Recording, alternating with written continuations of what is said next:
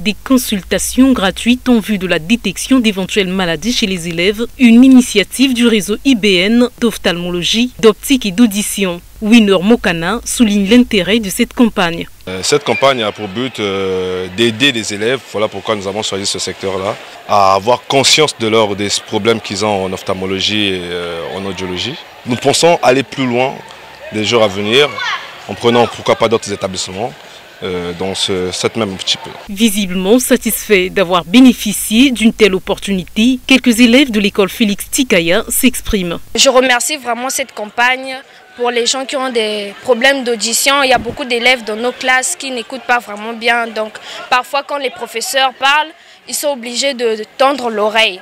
C'est très bien ce qu'ils font. Là maintenant, on n'aura plus besoin d'aller encore dépenser de l'argent à l'hôpital. Je suis heureux et très content. Les consultations se font au moyen d'appareils appropriés permettant une meilleure détection des maladies. Pour Crépine Niambi, proviseur du lycée Les Trois Glorieuses, cette initiative vient à point nommé.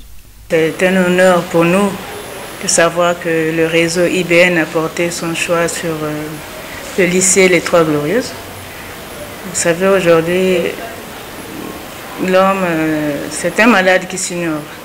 Généralement, on va à l'hôpital lorsqu'on a mal quelque part et on va chercher le médecin.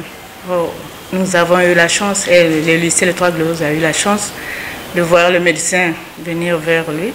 Le réseau IBN a pu diagnostiquer beaucoup de cas de maladies. Certains cas d'ailleurs nécessitent des opérations. Et donc vraiment c'était un honneur. Cette campagne, qui se poursuivra dans d'autres établissements scolaires publics de Pointe-Noire, dont Mouy-Poitiers et Victor Augagneur, prendra fin le 19 avril prochain.